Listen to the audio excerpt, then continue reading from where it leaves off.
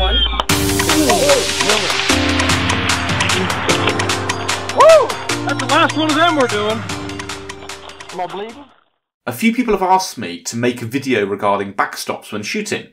This isn't an easy subject to cover because it depends on whether you're shooting a sub 12 foot pound air rifle, a shotgun, or an FAC rifle. And by FAC, for, for say our, our American friends, I mean a powder burning rifle or a air gun producing more than 12 foot pounds of energy at the muzzle. So let's break it down. First of all, we have air rifles. A UK legal 12 foot pound air rifle in 22 caliber will fire a 16 grain projectile at around 580 feet per second maximum. Usually, to be honest, a little bit less than that. For this reason, it's generally considered to be reasonably safe to shoot it up in the air. But even a 12 foot pound air rifle can go a considerable distance. If you look at Charles Barry's video on airgun gear, where he shot a reactive target at over 200 yards, you'll see the kinds of distances that you'll need to be aware of. Sure, in all likelihood, the falling pellet is more, more likely to annoy than seriously injure a passerby or a sheep, but it's still something to apply common sense to. Remember, if someone calls the police, it is unlikely you'll get any sympathy from them, especially if you've broken somebody's window. Secondly, we have shotguns assuming you're using birdshot, it's not only safe to shoot it up in the air, but it's preferable. If shot at a 45 degree angle with the wind behind it, number 6 birdshot will travel around 300 yards before it comes back to earth with, with an average cartridge. But when it does, short of hitting someone in the eye, it's pretty harmless. This is why the general rule on a pheasant shoot is if you can see sky, shoot. If you can't, don't. But if that shot lands on someone's house or they call the police, like with an air rifle, you'll not get any sympathy and may lose your license. That said, it's perfectly safe to shoot into the ground with a shotgun if you're, say, shooting rabbits, etc. But in those circumstances, you need to apply the same rules as a rifle. You need to know where that shot is going to go because at closer ranges, that shot can cause some serious damage. So don't shoot a shotgun through a hedge or over the top of a hedge unless you know for a fact that it's safe. And usually you don't know it's for, for a fact that it's safe. At this point, I'm just, I'm afraid I'm going to have to tell you again, just to use some common sense, as it's your call. Just remember, it's your license um, that you risk if you do anything stupid. And also, bear in mind, if you're out with a shotgun and you're shooting at the ground, then if you've got other people with you, that exponentially increases the, the danger. Some people have often asked me when I go ferreting why I don't shoot the rabbits as they bolt rather than use purse nets. And the reason is, although that does sound like a lot of fun, I've never really kind of got round to that because it's generally considered to be quite dangerous. Because when someone's got a shotgun and they get excited and they see something bolt out of the hedge, they have a tendency to sort of instinctively shoot. As where with a rifle, you tend to be a bit more considered when you pull the trigger. If you are shooting instinctively like that at the ground and you've got other people with you, the chances of an injury you know, is quite high. So again, use your common sense. Now let's move on to the main point of this video. FAC rifles. Every single shot that you take needs to go into the ground and you need to know where that's going to be. Never shoot towards the brow of a hill. If that bullet makes it over, it may go hundreds of yards and kill or maim someone. Obviously never shoot into the air, even with a rimfire. A 2-2 long rifle shot at 45 degrees could travel for a thousand yards, and when it hits the ground, it will still have enough energy to kill someone. In fact, if you look at the video made by Iraq uh, war veteran 8888 uh, about how far a 2-2 will kill, he used the military standard of the half-inch pine board, and he's, he decided if it could penetrate that pine board, it's deadly. And you know he got out to well over 400 yards and beyond that i think he was just having trouble being able to connect with the piece of wood.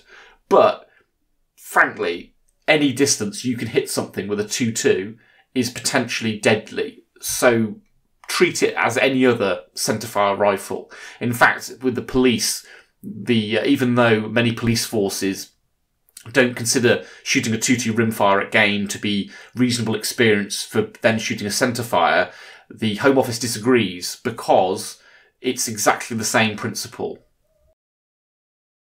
often you'll see in the news in Arab countries men shooting their AK 47s into the air in celebration at a wedding or some other celebration. Those rounds could come down in someone's garden, a city high street, anywhere, and kill whoever it hits. In fact, I've heard news reports in places like Jordan where it's considered a serious problem. Don't be that guy. Similarly, I've seen Americans shooting squirrels out of trees with too long with a two too long rifle, and they think it's safe because they're out in the wilderness. Well, you're there, aren't you? So what makes you think that some other guy isn't doing exactly the same thing and taking exactly the same risks shooting up in the air as you are? He could get hit by you and you could get hit by him. Again, don't be that guy. You know, it, it, if you shoot someone, then that is potentially going to end you in prison. That's how serious it is. Now, obviously, in the UK, this is something to be especially mindful of, as pretty much anywhere you shoot, you'll be near some sort of civilization, unless you're out of the in the middle of nowhere in Wales or Scotland. But for most people, you're you're you're never going to be much more than 500 yards away from something that you don't want to shoot by accident. And in the region I live, it's very flat, which creates a, an additional problem. If you're shooting downhill and there's lots of land for that bullet to go into, just make sure you can see where that will be. The same goes for a big pile of earth, etc., behind your quarry. But what what if it's flat? Well, use your common sense. There is a reason that you rarely see a deer stalker use a bipod when shooting a deer, and that 99% of the time they'll be using shooting sticks. It's because they need to ensure the muzzle of their rifle is above the kill zone for their target.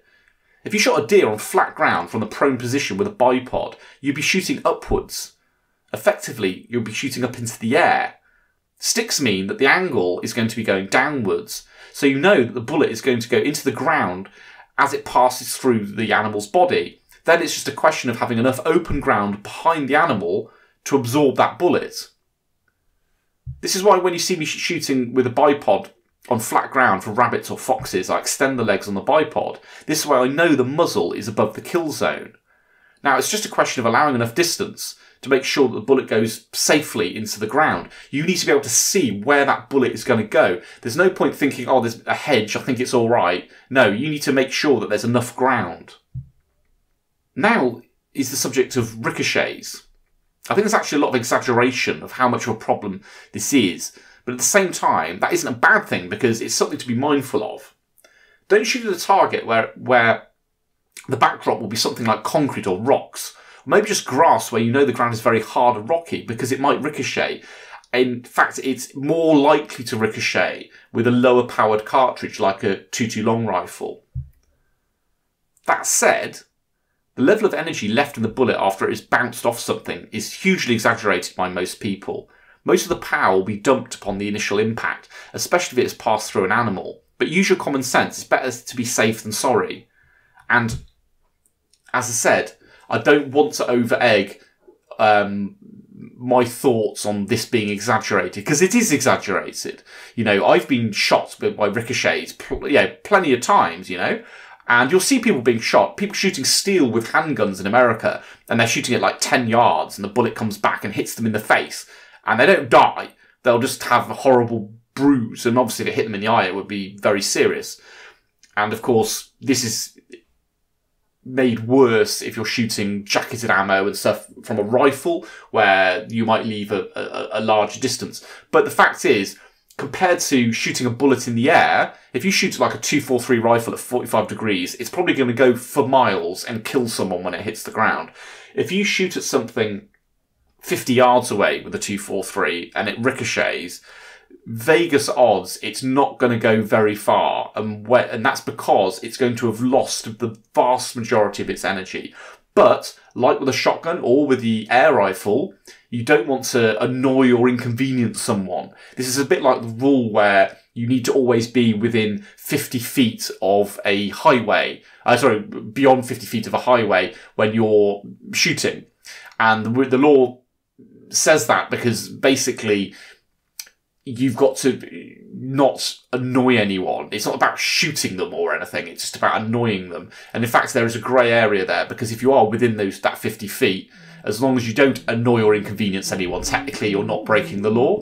But the law does consider you annoying someone as to be enough for you to be in serious trouble. So I hope that kind of covers it. As I said, this wasn't an easy video to make, but any questions, and if there's anything you think I've missed, put them in the comments.